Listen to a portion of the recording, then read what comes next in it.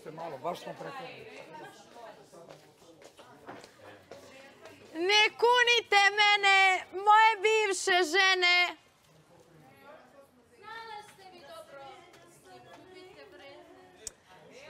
Sivo nebo nad Beogradom ništa dobro ne obećava.